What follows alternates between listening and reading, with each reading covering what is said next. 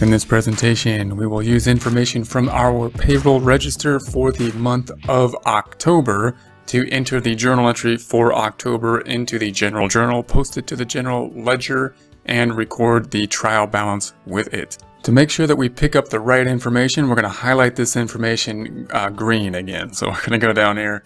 We're going to highlight from B19 all the way over, I should say select it, uh, to the X22 and then right click and then I'm gonna make it green. I'm gonna select this little pink and let's make it uh, a lighter green again. Let's go to this green here. It's getting lighter each time for some reason. Okay then we're gonna go back up top and let's freeze the panes. So I'm gonna put my cursor right on A4 if it's not frozen already. I don't know why we keep I keep unfreezing the pane but we're gonna go up top. We're gonna go to the view tab. We're gonna go to the Windows freeze panes and freeze the pane. Okay, then we're going to scroll back down and this is the data we will be working with. We're going to enter that data into our um, journal entry tab. So we're going to go to the second tab over here. We're going to have to do some uh, back and forth work between the two tabs. We're going to clean this tab up a little bit. We're going to either unhide or hide uh, what we need. So if anything is hidden in your tab, what you want to do is select whatever cell you can up top and just select the whole thing. Just unhide everything all the way over as far as you need to go. Right click and then unhide anything that's hidden. Then what we're going to do is just hide the cells that we need. So these two are for the first payroll periods. We don't need those now. I don't need those to bother us right now. So we're going to put our cursor on the A and select all the way to the L, A to L. Let go and right click and hide. Then we don't need any of this data, we only need this data to enter this pay period. So I'm going to put my cursor on the R dropdown and select all the way to AC. And then left click and hide. Okay, so this is going to be our information. We're going to enter the data here and we're going to post that to the general ledger on this side, which will uh, generate the trial balance. Okay, there's going to be three journal entries, which will be one for the employee's payroll, two for the employer payroll taxes, and then we'll make the payment, which will be the last one, uh, and that'll be on the 15th. So we're going to process the payroll, pay, uh, process it as of November 1st for the payroll period ending in October, and then we'll make the payment in uh, November 15th for the withholdings and the payroll taxes. All right. So note that these are these should look very similar now, and we could copy and paste the journal entries from the prior time period and just change the numbers, but we really want it, so just note the repetition there.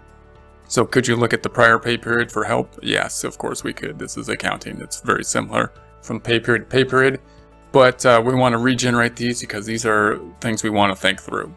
So first we're going to deal with the uh, payroll journal entry. Now cash is affected but this is one time I'm going to do that last because we're really working down to the net check, remember. So that's going to be our goal. We're going to start with the payroll expense, which will be a debit here to 502 salaries and wages. So we're to copy that, right click and copy. We're going to go a bit faster here since we've done this a couple times. It'll be much the same as the prior transactions.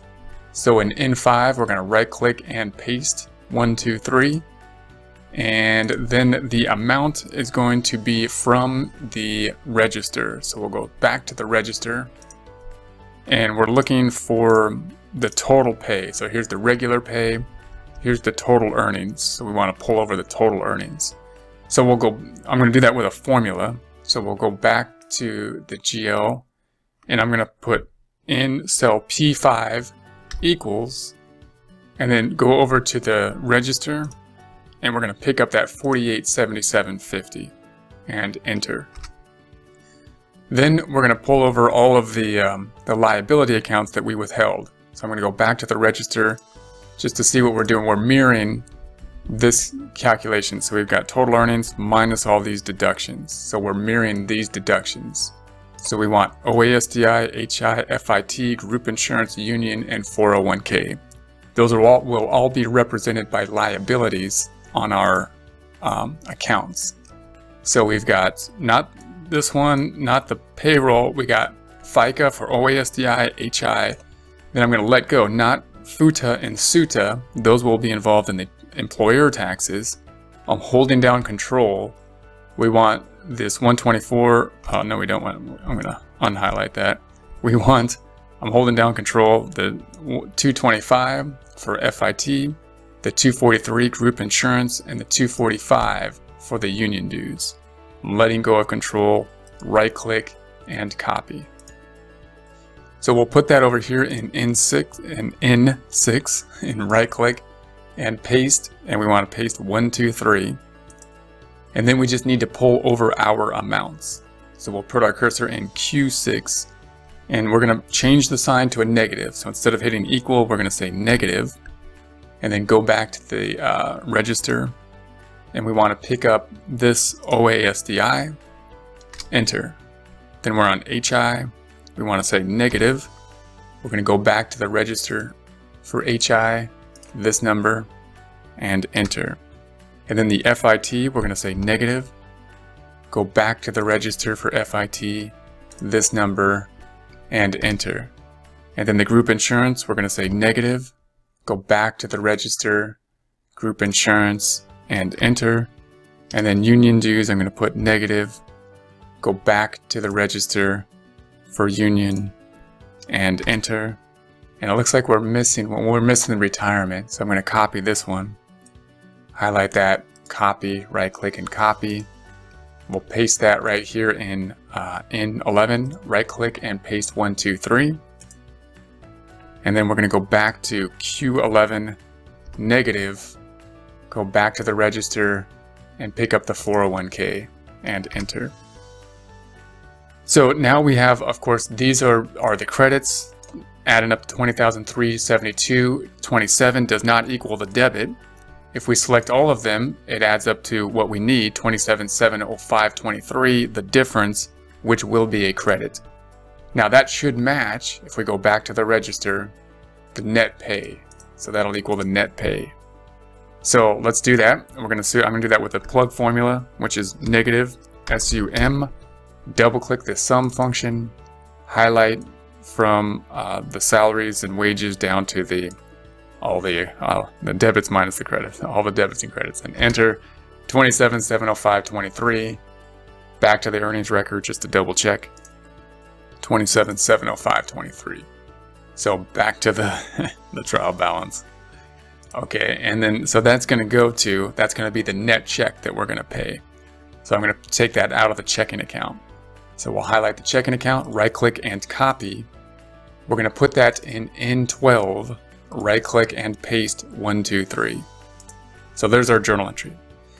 Now we're going to post this to the GL. I'll try to do this a bit faster. So these are all going to be in the same area, so it's going to be easier to find. This one's going to be all the way to the end because it's cell it's uh, 502. So it's going to be our second uh, income statement account.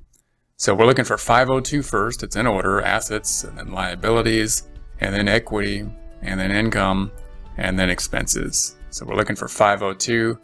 Here is our salaries and wages in BM20. 11.1 is the date. And in, in BN20, I'm going to say equals. I'm just going to hold down the left arrow, which will take us all the way over, and scroll up to that 4877 and enter. So there's our amount, our, our uh, wages, our expenses went up from 96,973.50 by 4877.50 to 145 uh, 51. And of course, our it's exactly the same because we're mimicking the data from payroll to payroll at this point. So we're going to scroll back over and uh, that's going to be our first one. Now for the rest of them, I'm going to freeze the panes so that this side will remain here every time we scroll over. To do that, I'm going to go to cell AD1. I'm going to go to freeze panes and freeze panes. So then I'm going to scroll over, I'm going to find 215 and we'll just find all of all of these liabilities. That's going to be down here and they should all be pretty close to each other. So I'm not going to go back and forth in other words this time. We're just going to go scroll this way. We're looking for 215 there's 215 here in AS12. We're going to say 11 1, the date. And then in AT12 equals, point to that 2009 80 81, and there it is. Then we're looking for 220, so that's going to be the next one. So 220 is here in AW12 as of 11.1, and then in AX12 equals that uh, 697.12 and enter. Then if we're looking for the 225, so we're at 220, 225 should be around here somewhere. We have to skip a couple. It's going to be 225. Here's cell 225. In BE10, we're going to say 11, 1. In BF10 equals, and we're going to point to the 225, which is that 840413, and enter. Then we're looking for 243. So 243 looks like it's underneath here, 243. I'm on BE23, 11.1, tab, BF23 equals, scrolling up a bit to that 243, that 5,500. So there we have that. Then we're looking for uh, 245.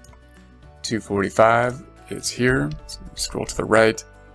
245, 11, 1. And we're going to say this equals, here's the 245, we're picking up that 16, bringing the balance up from 32 by 16 to 48. And then we have the 247. So scrolling down, here's the 247 as of 11, 1.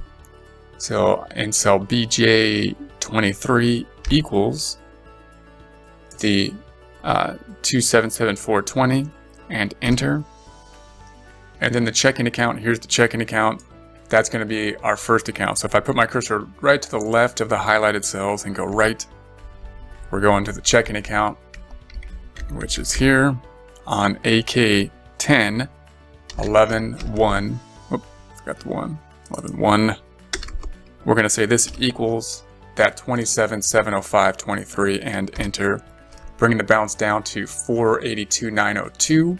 We can see that then on the trial balance here. So if we go back to the trial balance, here's our information on the trial balance. If we scroll back down, we can see now that these totals have pulled over. Now we owe 2980, 81, uh, 697, 8404 FIT and the group insurance down to the retirement. We also note that uh, the salaries expense has gone up here, so we owe more for uh, the salaries. That brings net income down, and our debits minus our credits are zero, meaning debits do equal the credits at this time. Next journal entry, we're going to say that uh, we're going to pick up the, the employer taxes. So if we go back to the payroll register, we want to pick up this information now, the employer taxes, OASDI, HI, FUTA, SUTA. These two are matching, so we saw that as a deduction in the employee section. These two are employer taxes only, federal unemployment, state unemployment. So we'll pick up these numbers back to our, our journal. So we're going to say that in essence, we need to pick up the 215, the FICA, the Medicare, the futa and suta. So these are the ones we want. We're going to highlight those or select those, right click and copy those. We'll put that underneath the date here because they're going to be credits. So it's in N15, right click and paste 123. And then the debit's going to go on top and the debit's going to be the uh, payroll taxes. So 520 here. Right click and copy we're going to put that up top in N14, right click and paste 123. Make this a little smaller. Okay, so now we just need to pull this information. I'm going to pull this information for all the credits, and then the debits will be the sum of them. So we're over here in uh, Q15. Instead of selecting equals, we're going to put negative in order to flip the sign, and then we'll go back to the register here and we're looking for the OASDI. So that's the one on uh, U23. Enter. Next one, we're in uh, the FICA HI, and that's uh, the Medicare. Equals or negative, not equals, negative. And then scroll back to our register, we're picking up the HI, the 69712. Enter. Now the FUTA and SUTA are zero, so I'm just going to put zero here. And I'm not even going to post these. I just want to show the, the, the, symmetry in the journal entry to show them here and uh, and note that they're going to be zero. So note the difference in our, in our journal entry there. Okay, so then we're going to add these up and they add up to 3,677.93. We're going to put the debit there. We're going to do that with our plug formula, which is negative SUM. Double click the sum function. Going to move this out of the way and we're going to highlight that information. So there's our debit. So there it is. So now we'll post this out. So we're looking for 520 first. That's going to be on our income statement. Here's 520, the third income statement account. So if we go to the general ledger over here, we've got the assets, we've got the liabilities, then we've got the income statement accounts. We're looking for 520. Uh, 520, here we go. So it's on uh, BQ8 11, 1, and then BR8 equals, we'll scroll down just a bit and we want to pick up that uh, 3,677.93, bringing the balance up to 12,677.53. If we go just, well, let's just if we go to the left of the uh, frozen screens and then click right, then that balance should be here as well. And then we'll post both of these uh, at the same time, or uh, without going back to the trial balance. So the 215, if we go to the right, 215 of course is going to be right here. So if we go to the right, we're looking for 215. I think it's going to be up top. Here it is, 215. And now we're on 11.1 again. So two 11.1s, we got the same amount. It's going to be here again. We're going to say this equals, and make sure we're picking up the right journal entry. We don't want this number up here, even though it'll be the same. We want this number there. So we're picking up that uh, 2890 and enter. It's actually 2980. And then we're to do the HI, which is 220. So 220 is going to be right next to it. So here it is on uh, AW 13. We're going to say 11, 1. And then in AX13, we will say equals and point to that 697.12 and enter. So there we have that, bringing the balance up here. Now I won't post these two because once again it doesn't look like, uh, obviously there's nothing there on those two, so we're good there. And so if we go back to our balance, going to the left of the, of the uh, frozen screens and then going down, we see that uh, we should be back in balance here, the effect on net income being the payroll expense portion. At this point in time, we've got these liabilities now that we're going to have to just pay at some point. We took these out of the payroll check and or that's our payroll liability, which we now will have to pay at some point. We're going to say that we're going to pay it on the 15th. So remember the payroll ended in October and then we paid, we processed payroll November 1st and now we're going to pay it on 11-15. So we're basically going to make this payment for uh, these amounts here. So what we're going to do is we're going to take all these amounts that we owe, we're going to make the payment for them. So that includes the uh, the uh, not the payroll tax, the 215, the HI. There's nothing in Futa and Suta because those have been totally uh, the cap has been reached, so therefore we don't owe any money for it. I'm holding down control. I'm letting go here. I'm holding down control and then highlighting the FIT and that's all we need. The FIT should do it. So we're going to copy that. I'm letting go of control, right click and copy and that's going to go in N20, right click and paste, uh, one, two, three, values only. So that's going to be what we have. Now I'm just going to pick the exact same numbers up here over here in our journal entry. So we'll put our cursor here in uh, Q20 and we're picking up this number. So I'm just going to type it in there, negative uh, 5961.61. Then we're picking up this number for HI. So here's HI, we're picking up this number negative, actually, I'm sorry. These should be debits. These should be debits. So I'm going to be on the debit side because we want to make this go down to zero. So we're on the debit side. And this is going to be 5961.61 for the FICA uh, Social Security. Uh, the Medicare is going to be 1394.25. And the FIT here will be 8404.14. So that's what we have there. And then we'll uh, sum that up, and that's going to be the cash that's going to come out of cash here. So we'll be in Q23, negative SUM, our, our plug formula, the sum formula. Double click the sum, highlight these cells, and enter. So that's going to be this total that's coming out of cash. So here's cash. Going to right click on that, copy, scroll down, and that's going to be in N23. Right click and paste 123. Okay, so now we're just going to post this. So here's uh, 215.